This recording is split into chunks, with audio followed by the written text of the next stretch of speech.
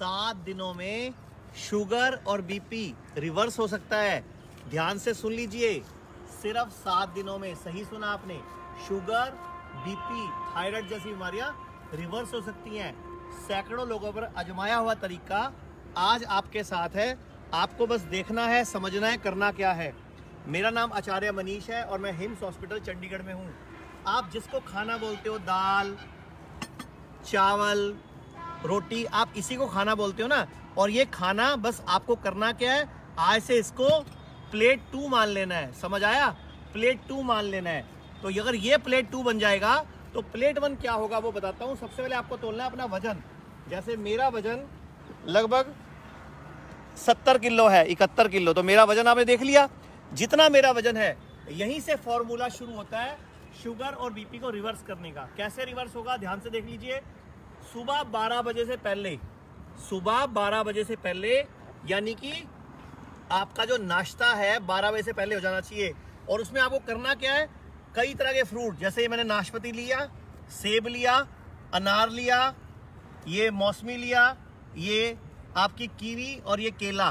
कोई भी चार पाँच तरह के फ्रूट आपको इस तरह से, लगभग आपका वज़न कितना तोला मैंने? सत्तर किलो।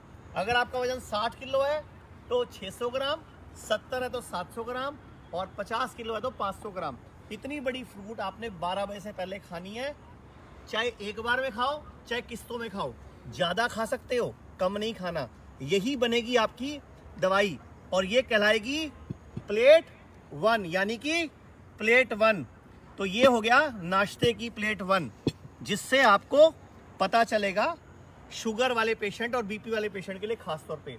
तो 12 बजे तक आपने अपने वज़न गुणा 10 ग्राम, यानी कि मेरा वज़न 70 किलो तो लगभग 700 ग्राम। 60 है तो 600 ग्राम। अलग अलग तरह के फ्रूट वैरायटी में ये आपने खा लिए। उसके बाद अब आ जाओ लंच पे और डिनर पे। लंच और डिनर में क्या करना है आपने? अपने वज़न गुणा पाँच ग्राम। इसको आपने प्लेट टू बोल दिया ना? तो अब प्लेट वन क्या होगी दोपहर की? आपने सलाद में जैसे मैंने मूली लिया, टमाटर, खीरा, गाजर, और इसके अलावा चुकंदर। इस तरह की कोई भी तीन से चार आइटमें और ये आपकी बन जाएगी प्लेट वन, यानी कि सलाद। तो प्लेट वन अगर आपने अपने वज़न गुड़ा पाँच ग्राम, साढ़े तीन सौ ग्राम लंच में और डिनर में खानी शुरू कर दी तो आपकी शुगर और बीपी रिवर्स कैसे हो जाएगा? उसका साइंटिफिक लॉजिक क्या है? कि आपकी बॉडी में खाने को हजम करने वाले रस एक्टिवेट होंगे और आपके ब्लड में जो ग्लूकोज का सिक्रेशन है वो भी उसी हिसाब से होगा जिस तरह बॉडी को चाहिए। एकदम शुगर बॉडी में नहीं बढ़ेगी। और जिसको बीपी है, उसको रिवर्स करने के लिए स्पेशल तरीका क्या है? जैसे मेरे आगे ये है धनिया, पुदीना, कड़ी पत्ता और पालक। ये सारों को बारीक चॉप कर लिया। अब इसको चॉप करके आपने अपने वज़न गुणा एक, यानी कि मेरा वज़न अगर सत्तर किलो तो सत्तर ग्राम शाम को चार पाँच बजे के लगभग जो स्नैक्स का टाइम है, इतने पत्ते खाने हैं चबा चबा के अगर पत्ते नहीं खा सकते तो मेरे हाथ में ये है ग्रीन जूस यानी कि इसी पालक, इसी कड़ी पत्ता, इसी पुदीना और इसी धनिया का मैंने जूस निकाल लिया। और भी कोई पत्ते डाल सकते हो आप।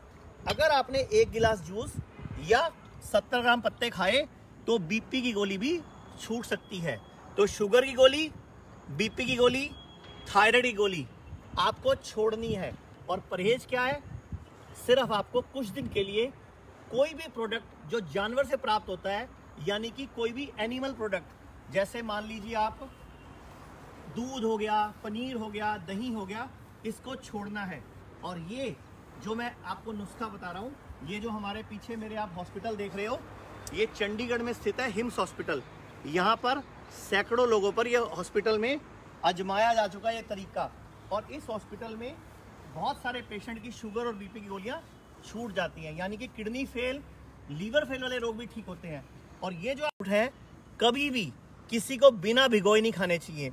सुबह नाश्ते में जो मैंने आपको फ्रूट की प्लेट, आप अपने वज़न गुड़ा पाँच ग्राम, ये भीगे हुए ड्राई फ्रूट्स भी रोज खाइए, और कम से कम दो टुकड़े नारियल के। अगर आपने ये नियम बना लिया तो आपकी शुगर, बीपी रिवर्स हो जाएगा, और आप बिल्कुल ठीक हो जाएँगे। और यही आज भारत में 10 करोड़ लोग बीपी के पेशेंट हैं। और लगभग 10 करोड़ लोग शुगर के पेशेंट हैं। ये 20 करोड़ लोगों की दवाइयाँ बंद होने से बारिश है कि इस नुस्खे को अपनाइए जो हमने हज़ारों लोगों पर अपनाया है। और हिम्स हॉस्पिटल चंडीगढ़ के इस ग्राउंड से मैं आपको ये वादा करता हूँ कि बीपी शुगर की गोली बंद हो सकती है। बस तरीका आपको मैंने सिखा दिया।